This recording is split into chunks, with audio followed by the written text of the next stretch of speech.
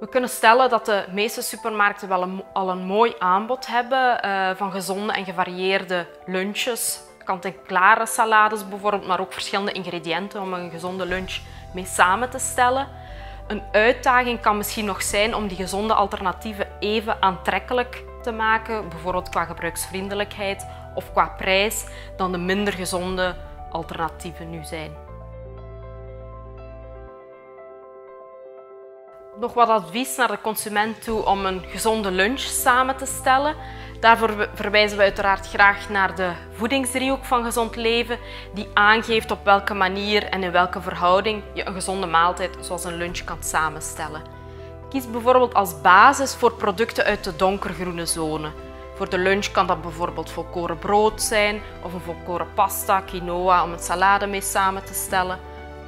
Altijd aangevuld met een ruime portie groente, eventueel een stukje fruit als dessert en dan een ruime keuze aan beleg om uit te kiezen. Van plantaardige producten zoals hummus tot uh, vis, kaas, een stukje vlees en zo verder.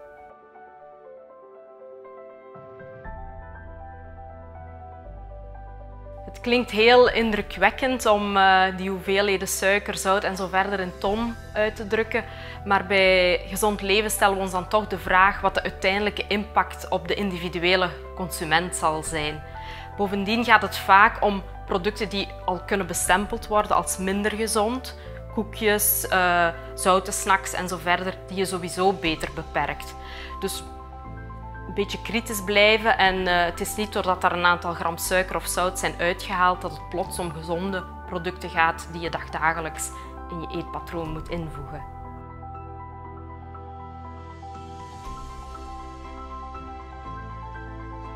Bij de voedingsdriehoek leggen we vooral de nadruk op het consumeren van weinig of niet bewerkte producten. Maar uiteraard zijn er ook tal van bewerkte producten beschikbaar in de supermarkt.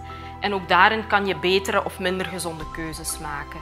Nutri-score is iets wat je kan helpen om binnen die groep van bewerkte producten, denk bijvoorbeeld aan koekjes, ontbijtgranen, de gezonde van de minder gezonde keuzes te gaan onderscheiden.